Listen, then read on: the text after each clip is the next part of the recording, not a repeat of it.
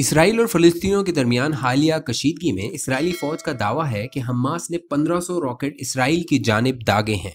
ताहम इनमें से ज़्यादातर इसराइली दिफाई निज़ाम आयरन डूम ने फिजा में ही तबाह कर दिए हैं। इसराइली हुकाम का कहना है, इनके दिफाई निज़ाम आयरन डूम की कामयाबी की शरह नबे फ़ीसद है। आखिर आयरन डूम का निज़ाम काम कैसे करता है? आयरन डूम इन मुतद मिज़ाइल शिकन निज़ामों में से एक है, जो इसराइल में अरबों डॉलर लगाकर नस्ब किए गए हैं। ये निज़ाम रिडार की मदद से इसकी जानब दागे गए रॉकेट्स को ट्रैक करता है और इनको रोकने के लिए इंटरसेप्ट करने वाले मिज़ाइल दागता है। ये टेक्नोलॉजी इन रॉकेटों में तफरी करती है, जो कि ज़्यादा आबादी वाले इलाके को हदफ बना रहे हैं या फिर जो अपने हदफ पर नहीं पहुँचेंगे। सिर्फ़ इन रॉकेटों को रोका जाता है, जो कि ज़्यादा आबादी वाले इलाकों की जानब आ रहे होते हैं, जिसकी वजह से ये निज़ाम सस्ता पड़ता है। अखबार टाइम्स ऑफ़ इसराइल के मुताबिक हर इंटरसेप्टर मिसाइल एक लाख पचास हज़ार डॉलर का होता है। आखिर ये निज़ाम बनाया कैसे गया?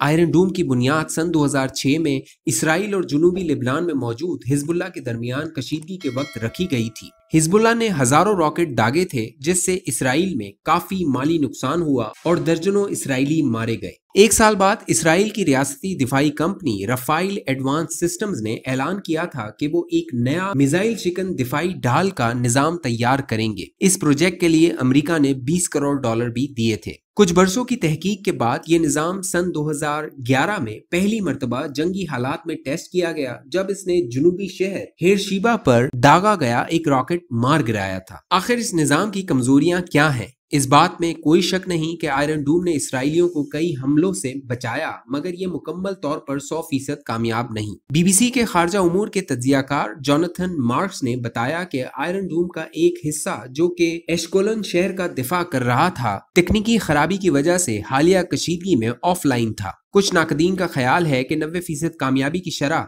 गजा से दागे गए राकेटों के लिए तो सही, मगर मुस्तबिल में किसी और दुश्मन के खिलाफ हासिल करना मुश्किल होगी। यूरुशलम पोस्ट के intelligence editor Yonah Jeremy Bob का कहना है हिजबुल्ला के पास कम वक्त में ज़्यादा रॉकेट दागने की सलाहियत है, जिसकी वजह से आयरन डूम के लिए इन सबको रोकना ज़्यादा मुश्किल होगा। मगर इस वक्त इसराइली आयरन डूम के लिए शुक्रगुजार है।